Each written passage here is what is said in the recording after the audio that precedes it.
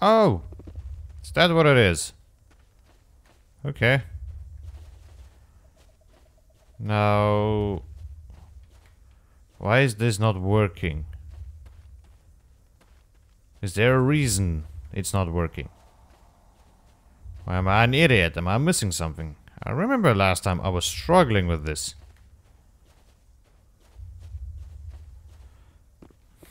Okay, one more time. Let's go up one more time. I just want to... Oh, bye-bye, guys. Oh, hello. Is there anything here that could potentially help us? Yes, no, maybe?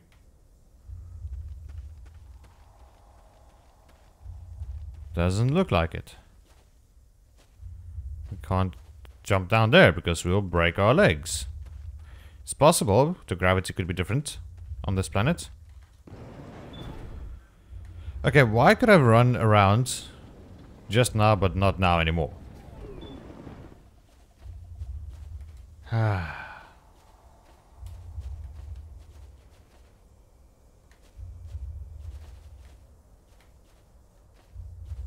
I don't know.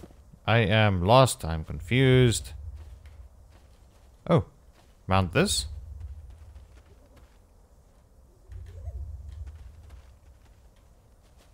Okay, there we go. Um. Hmm.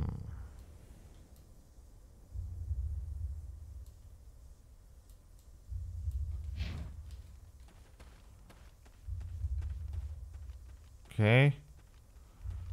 I'll probably have to cut all of this, unfortunately. Okay, um, we're back. I should have just climbed into the Mako. I bet you a bunch of you guys are screaming like, No, get in the Mako! Really? Are you that daft? Oh my goodness. Thought Saren would have set some kind of trap or ambush for us. He must have been in too much of a hurry. Or we just haven't run into it. Yep, okay, so we are back in business. I feel like a complete freaking idiot. Okay, I'm sorry.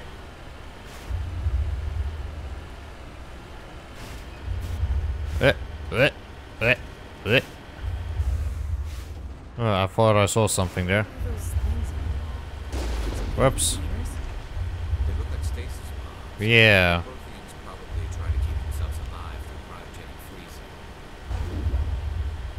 Protheans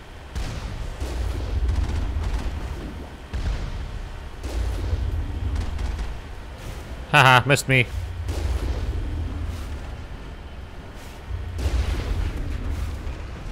Okay, there we go. Eh. Eh, eh, Oi.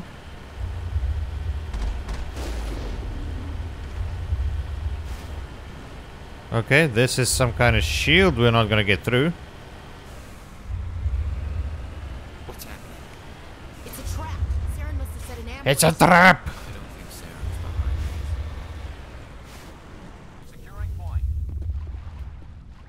Okay, go do that. We will... What the hell? Oh, we're blocked in. Right, let's move ahead. I can't believe it was me to just get into the Mako and then everything will be done. What the hell? Oh, wow. That's a lot of pods. What do you think we're gonna find down there? It has to be useful if it's specifically targeted us. I'm not putting faith in anybody being on our side. Not anymore. Uh-huh. Especially that stupid politician. Let's go say hi to, to Vigil. You are not Prothean, but you are not machine either. This eventuality was one of many that was anticipated. This is why we sent our warning through the beacons. Uh-huh. Like some kind of VI program. Pretty badly damaged. I do not sense the taint of indoctrination upon any of you. Unlike the other that passed recently, perhaps there is still hope. Still hope for Wait what? a minute. How come I can understand you? Why aren't you speaking the Prothean language? I have been monitoring your communications since you arrived at this facility. I have translated my output into a format you will comprehend. Ah, My name is. Vigil. You are safe here for the moment, but that is likely to change. Soon, nowhere will be safe. Uh, alright. Why did you bring me here? You must break a cycle that has continued for millions of years. But to stop it, you must understand, or you will make the same mistakes we did. The Citadel is the heart of your civilization and the seat of government, as it was with us, and as it has been with every civilization that came before us. Ah, But the Citadel is a trap. it's a trap. The station is actually an enormous mass relay, one that links to dark space, the empty void beyond the galaxy's horizon. When the Citadel relay is activated, the Reapers will pour through, and all you know will be destroyed. We won't stand a chance. wipe out the Council and the entire Citadel fleet in a single surprise attack. That was our fate. Our leaders were dead before we even realized we were under attack. The Reapers seized control of the Citadel, and through it, the mass relays. Communication and transportation across our empire were crippled. Oh, huh. Each star system was isolated, cut off from the others. Easy prey for the Reaper fleets. Over the next decades, the Reapers systematically obliterated our people. World by world, system by system, they methodically wiped us out. All of you? Some of you must have managed to survive. Through the Citadel, the Reapers had access to all our records, maps, census data. Information is power, and they knew everything about us. Oh, that sucks. Their fleets advanced across every settled region of the galaxy. Some worlds were utterly destroyed. Others were conquered, their populations enslaved. Oh. These indoctrinated servants became sleeper agents under Reaper control. Taken in as refugees by other Protheans, they betrayed them to the machines. Within a few centuries, the Reapers had killed or enslaved every Prothean in the galaxy.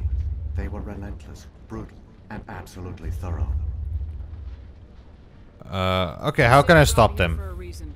Tell me what I need to do. The conduit is the key.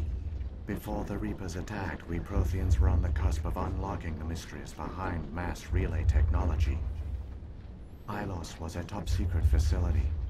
Here, researchers worked to create a small-scale version of a mass relay. One that linked directly to the Citadel, the hub of the relay network. Oh. The conduit's not a weapon. It's a backdoor into the Citadel. Go on. Next. We severed all communication with the outside, and our facility went dark. The personnel retreated underground into these archives. To conserve resources, everyone was put into cryogenic stasis. I was programmed to monitor the facility and wake the staff when the danger had passed. Oh. The genocide of an entire species is a long, slow process. Years passed, decades, centuries. The Reapers persisted, and my energy reserves were dwindling. So you just hid? Should have fought. We were a few hundred against a galactic invasion fleet. Our only hope was to remain undetected. I began to disable the life support of non-essential personnel. First support staff, then security. One by one, their pods were shut down to conserve energy. Eventually, only the stasis pods of the top scientists remained active. Even these were in danger of failing when the Reapers finally retreated back through the Citadel relay. So none survived? There were hundreds of stasis pods out there. You just shut them down? You killed them? You betrayed You were them. programmed to protect them, not kill them. This outcome was not completely unforeseen. My actions were a result of contingency programming entered on my creation. Oh. Tell the non-essential staff about this contingency. I saved key personnel. When the Reapers retreated, the top researchers were still alive. My actions are the only reason any hope remains. When the researchers woke, they realized the Prothean species was doomed. There were only a dozen individuals left, far too few to sustain a viable population. Oh.